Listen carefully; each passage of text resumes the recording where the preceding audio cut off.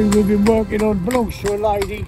He, uh, he's been laid out of work for four years. Um, he was in a pair and um, he lost his partner. So she's driving another pair now. So he's got this one. He's just asked me, would I put it back in harness? So I broke it. Know, the two of them.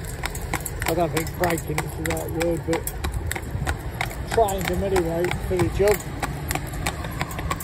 Go on, my baby. And she was a bit concerned that she would be a good horsewoman. No, she wouldn't be a fool. Uh, she's a good horsewoman. She, uh, concern was, one is she, she hasn't got the time to do it. She's a, a very busy lady. So, said the other thing is, she said, I don't think he'll have the courage that it takes to go on his own because he always was a little bit behind the other horse, looking for a cue from the other horse, you know, his mate. Anyway, four years he's been out, so we're done. But what I'm trying to do now is I want to just let him go along with the slackness soppy rein. Um, so that's just to show anybody who's interested that he's got no yeah, like that motor car coming there, I've got you can see the rain hanging down that washing line. Um, I understand the horse, I mean obviously I do. Because I know him inside out, I've trained a good horse. Um, he's actually 14.2 and a fraction. 14.2 and a quarter of an inch I would say. You know, queer size but he's a lovely, nice temperament, and he's come back and taken to his driving very well. There's been one or two silly things that we've had to iron out, and when I say silly, I cannot remember when he was here before. I mean, obviously we go out of our way to find as much as we possibly can um, to show them, you know, like this thing coming up here. so flashing lights on that. Come on, baby, come. Come over. So I've got no real steering on him, but I'm just showing you that he'll go nice up here. He wants to stretch his neck out and have a stretch. I'd like that. But he'll go up here, no trouble at all. As happy as anything, you know. Nice horse, you know, nice standard horse the lady that owns him would be a horsewoman, I would say, in my opinion. Um, would have him and he'd know his place. Um, and he'd be very happy in that place. So you can gather him up and keep him there, you know, sitting on the bit with his ears pricked. Um, and he will uh, need, well, he won't need it. What he what he benefit from is lunge work steady baby boy, just walk. So I just want to walk him down here with this, you know, hopefully the traffic will get heavier as we go down the road. But he's a nice horse. One thing I would say, he's what we call, Marie and I, he's up and down. So he never, very seldom slides on his feet. So if you hear him when he goes, it's click, clop, click, clop, up and down, like that, you know, comes down dead flat. Consequence of that, he hardly wears his shoes. I mean, we've done a good few miles, we keep a record of the miles he's done, but um, another horse would be looking for new shoes now. And these are still good, you know. It's only where he, he lands flat on his shoe.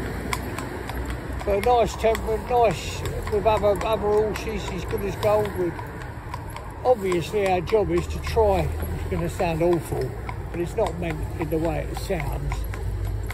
We're looking for something that'll upset him so that we can put it right, aren't we, obviously. So we want something that he's, you know, not very happy with so that we can put it right, yeah? Um, but it's only them cows and we've got him right up to the gate now where he'll, come on, walk up, You know, they're nose to nose almost. Um, well, they are nose to nose. So, just come on, my baby. Come on, be good boy. Oh, you see that old sign they've just put over there? He'll have a look, he'll keep his line. And what I'm trying to say to you, I'm not holding him on the lines, on the reins, to keep his line. You know, if you want to walk right over there, or jump to the right or left, come to that, he's got plenty of room to do it before I would regain control of him. Yeah? He's got so much slack in the reins.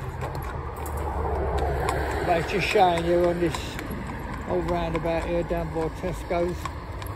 He's happy. It's funny, you know, you come down here, I've never really, I couldn't say to you, I'd love I wish I could to you, oh, Tuesdays mornings are always busy down there. Thursday afternoons, anything. Can't say that in Andover because it's just not true. Because obviously we would come down here when it's the heaviest traffic you can find. So here we are this time of day coming up mid-afternoon, um, three o'clock time. Come over baby.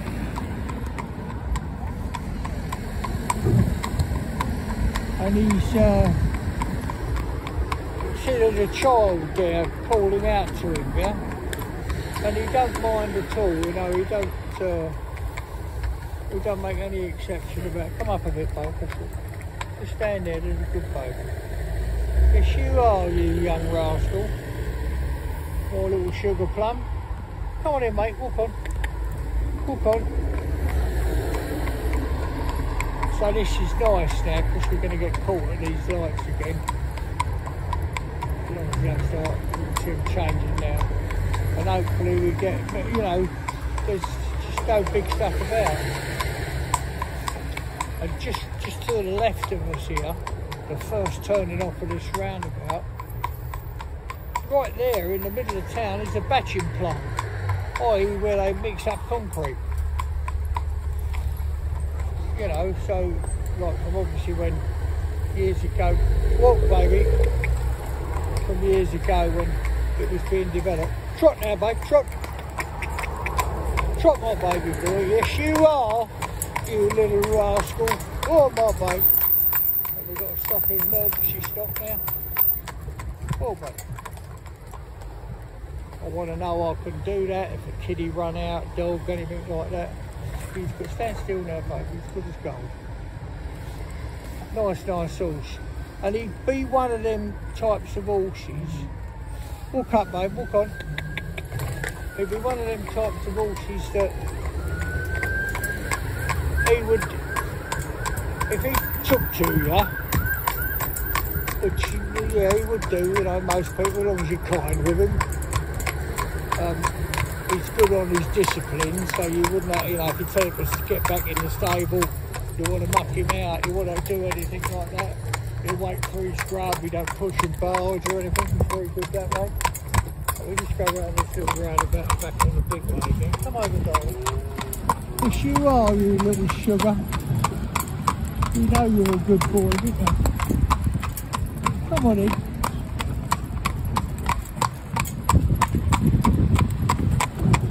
Can hear his feet there, if you hear him. There's no slide on his feet. Just like a handwritten handle, you know, up and down, up and down. Come on, baby. There's my little sugar plum. Yes, you are. Yes, you are. Oh, there's a big one. Look, have a look at that. Do you think of that? A good one? Oh, my baby boy. But he, if he took you, you'd have a friend for life in him. You know, he would bond with someone very strongly. Um, at this moment in time, we don't let the bond grow too strong. Please try and understand that. For the horse's sake, not for ours. But at the moment, he's like thinks the world of Reed, the other trainer. He sees Reed, you know, stand still now, you know, stand he sees Reed not going to the feed, well, let me go, not going to the feed room or anything like that. Trot, baby.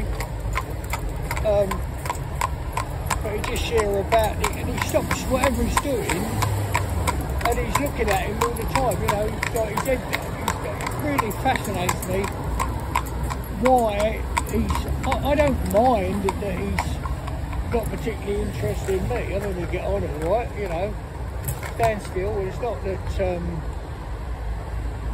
you know, where he's feeding him and like that because in fact knows where he's feeding. If she goes to feed him like all other horses, go on babe, on you go. Come on, up you go. Trot babe, trot on. That's good boy, yes you are. Yes you are, you young rascal. When you got all this traffic round him and he don't know what's coming, he's blind, isn't he? Put the blinkers on him like we do with driving horses and uh, he don't know what's coming up the side of him. He don't know where we're going to go. You know, because we can go like, go all any of these roundabouts to take us home, or we can get home using any of these entrances off this roundabout. Just trying to get caught by the lights. Everyone else wants to get home and we want to get caught. Because, you know, he's got to stand and do what we ask him to do. Oh, oh, baby, that's it. There's a good girl. Still. Stand still, baby. Stand still. Stand still. Stand still.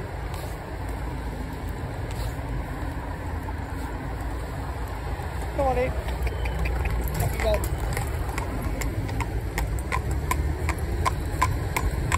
So we come up to them lights there and went over and put them quicker we wanted to, but you can see he's happy enough and very, very, very good worker.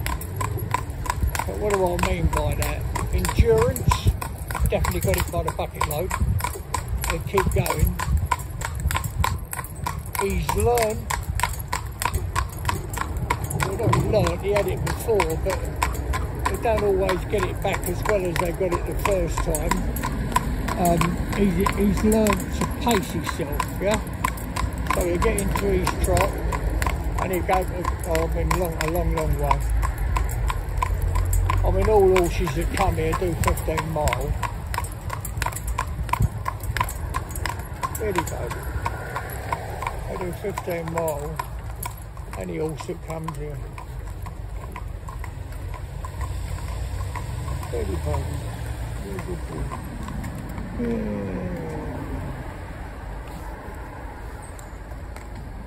Go on, on you go. Trot, baby. Trot. Yes, you are. You're good boy. When I asked him now, like if I asked him now, like, hands up! Him to come back. There you are, baby. Steady. Doing all that with a Wendling rubber bit. Well, all our horses do, we're known using rubber bits. It doesn't matter what you use when you take your own, but if you start with a rubber bit as soft as you can get a wender in, and the horse will behave himself on that bit, then what else is there to say? You can put what you like in, it doesn't matter thereafter, you know, whatever you're comfortable with, because you're never going to need, they say, and it does annoy me, they say, you know, pressure and release. Well, I'm sorry to say, and I'll defy anybody, it's pain and release. Why have all these cantilevers on the side of a bit? You know, cheap pieces of different descriptions that fix hold the reins somewhere, you know. Whereas what this is a loose ring snaffle. So all it is is a ring passing through the end of the bit and hooking it on the bridle, you know, on the put it on the bridle, strapping it onto the bridle and the reins on it. So the actual bit itself can revolve round and round. It's not influenced in any way by the reins. There is no cantilever. You've got nothing coming down the side like you have with a butterfly, um, a Buxton at Liverpool, uh, whatever you want to mention with a piece, you know, military reversible. There's all these bits they use. well, that's man's inability to do the job in a softer bit. If I can get this horse to go flat out and I can get him to come to a, to a stop, you know, like a, and then walk away quietly thereafter, that proves the point. And he's just like that, you could do that all day. So there we are, we've been down sunny Andover. We haven't seen much down there, so what I'm going to do is just come up through the trading estate. There's a lot of lorries will be coming in now this time of day, you know, from doing their deliveries, etc. And we might see a few there. On the other day, it just could be a quiet day, you do get. But he's a nice, nice boy, yeah. Choo, his name is. Funny old name for horse, isn't it, Choo? I had uh, a fella bought me two horses to break years ago. And I said to him, I didn't, but Ray, the other trainer, said, you know, took his details, what they are, and he said, uh, this one's Keith and the other one's Brian. didn't expect that, would you, for uh, Keith and Brian. So there you go. So what I'm going to do now, this while I'm going down this trading estate, there's a lovely little roundabout here that confuses horses. Um, they don't like it. They don't like the shape of it. You know, in fact, it's got a dome, slight dome in the middle, slight lift. And the fact it's made of cobblestones, they just don't like it. So if your horse will go shit, you see it coming up now. Little tiny roundabout. Oh, Hardly less calling it a bloody roundabout, really. But we come down here like this. Oh, my God.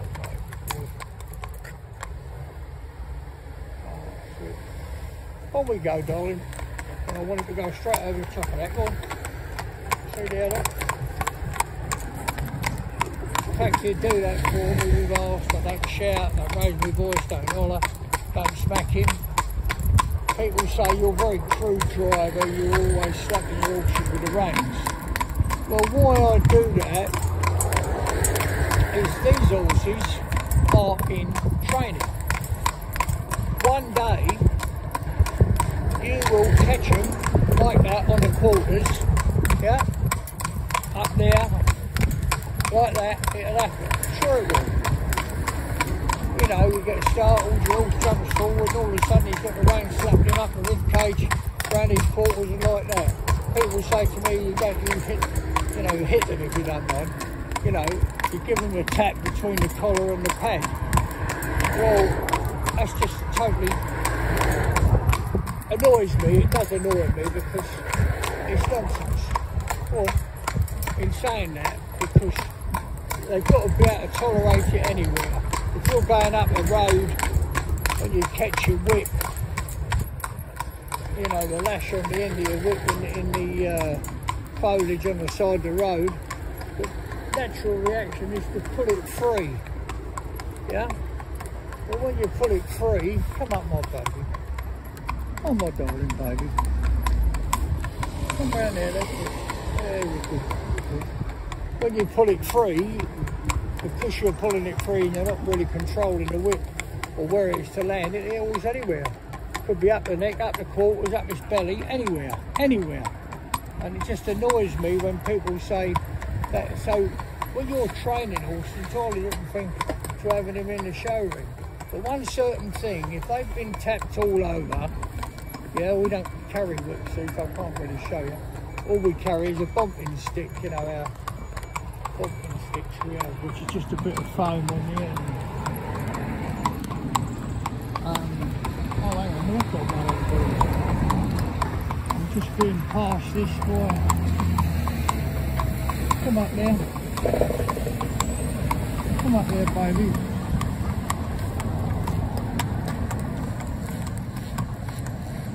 So our bumping stick is just a ball, a foam ball. Can you see me squash it? Look. And it's taped on the end. Yeah? It's just a foam ball. So I can do this. I'll stretch it right out there. Come over, babe. So please don't say to me, these, you know, so-called experts, that's what you do. That's what you want to be able to do, yeah? Get him round the tail, look. Can you see without him kicking back, yeah? Hello, baby. Just steady now, just walk, just walk. Just walk. And I'll put that down there between his legs. Can you see? Can you see me doing that? Come over. Come over. Ah, There's a good boy. I'm bringing him out of line. Bringing him out of line the traffic, you know. So just took him right across the road, the other side of the road. Steady, my baby. Because he thinks then what's going on? He's gone crackers, the driver. So if we put that there down between his legs, can you see? Up his bum, everywhere like that. He ain't doing a thing, is he? Well, there's no one going to tell me, these great experts, that uh, that's what you do. What you need to do is that. When you can do all that, you can then learn, practice, to use your whip, you know, between the collar and the pad. Of course, I'm all for that. But, you know, when you're training horse, you need to train that into them that they don't. So I'll just show you here. The trouble is I went to avoid a couple of learners in motorbike. If I put that down there, look, can you see between his back legs, wobble it about, can you see, look, you see the ball moving about, moving his tail. Is he doing anything? Is he jumping, leaping, upset? No. If I, I don't mean this, please don't think I mean this in a big-headed way, I don't but it's a very important thing because if you don't do that and he does have something touch him now I mean let's just say like I know a lady not so long ago she I said yeah I'll sort it out it's no problem just bring him and she'd had the horse and took him across where she'd been going for years on the set side around the edge of the field but they hadn't cut it. The fellow that does the cutting had been off ill, and it was a good three foot tall. Walk on, babe. Go on, babe, go. Your Um, good three foot tall. So it come up all round his, um, you know, his bits, his sheath and everything underneath and it didn't hurt him or sting him or any nonsense like that. It just tickled him. Yeah, and made him jump and he kicked back. When he kicked back and hit the car, that, that's what frightened him and made him, you know, gallop off. Um, fortunately, he only went back down to the gate and that was it taken care of really, you know. Come on, bug. Here, big old lorry here, look. Come over there, attention to that. Showing you, you know, how, how good is in traffic. We've not really seen any traffic today, but that's where it goes. Come on, my baby, try. Yes, you are, you little sugar plum. Come over there, there's a good boy. But when I weave him across the road, like in front of this motorbike coming down here a bit like that and then back over here.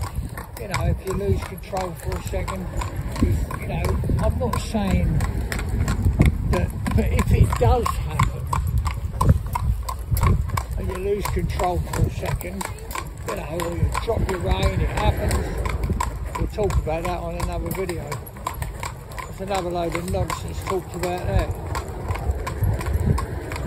The problem is, these people that um, are the so-called experts, they, and uh, please don't think, I've, I've got more work than I can possibly cope with. Yeah, stacks of it. Now, literally, I don't know how long, but a long time in advance, people waiting for the horses to come in. So it's not that, it's just that people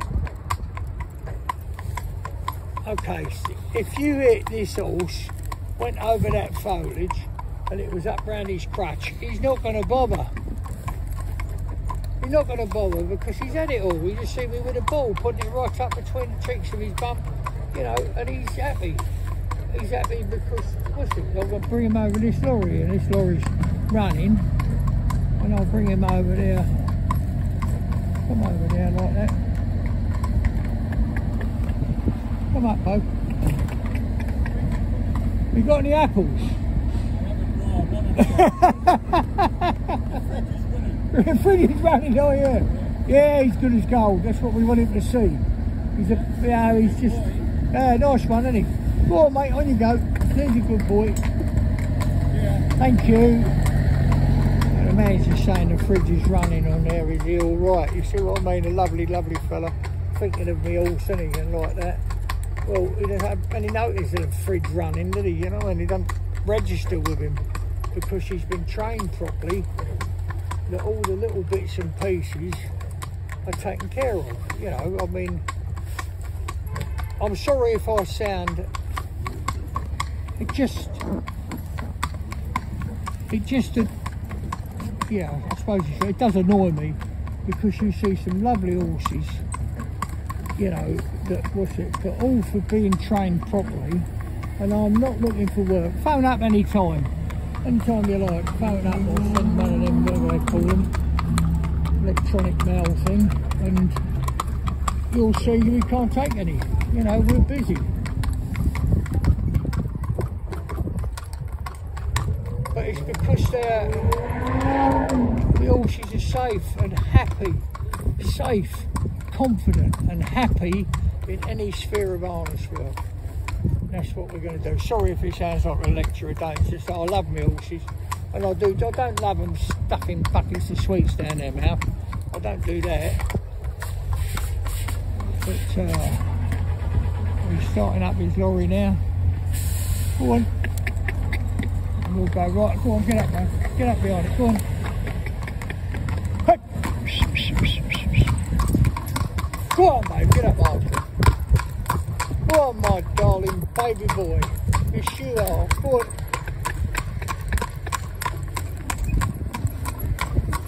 Go on. Go on, get up.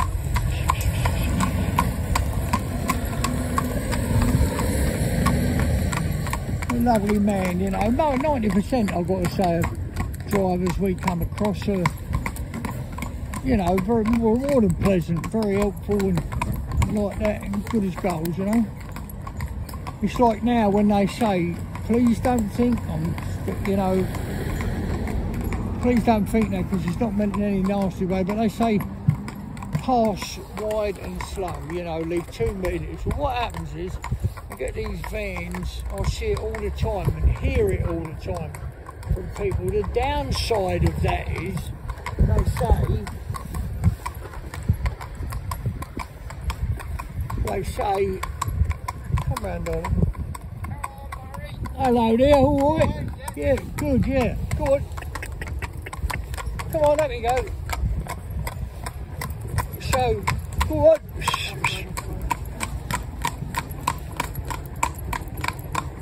Go on, my baby boy. And the downside of that is this pass wide and slow, allow six foot, you know, go past slowly. You get a lot of these vans now, don't you, that deliver food to people's houses, save them going shopping.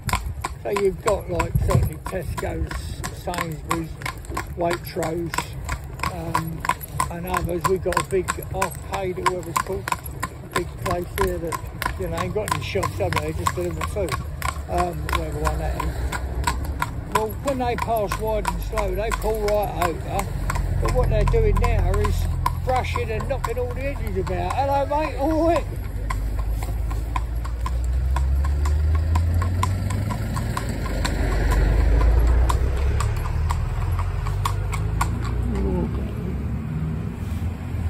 That's what we want now, a little bit. It. And when your horse is well behaved, you can afford to stop like that. Come on, my baby. Come round there, darling. And you can afford to go to the Carrot and Coffee Club, which is where we're going now. Come round there, my baby boy. Come round there, my little darling baby. Yes, you are. You young rascal. I love this shop here. Not because it does sausage rolls, but they look at themselves when they come, the horses, and see their reflection. And some of them go like jumping about, you know, clapping their hands, or their roofs, I should say. Who are you? Let's go and play. Anyway, it's coffee time now. Thank you to everybody that's joined the Carrot and Coffee Club. Really do mean that. It enables to make these films that hopefully you learn from. It seems to be the case that you do. You're always saying, what can we do? Well, that's what you can do, is join the Carrot and Coffee Club. Um, some people send something every month, just, you know, price for a cup of coffee, really. Um, and some people make a donation, whatever. But it just gives us time to do this, because I have to do all the filming in the evening, as you know, and edit all the films and in the cutting room, do you know what I mean? And I can't even turn the bloody thing on. Anyway, that's it. Cup of coffee time. God bless, thank you.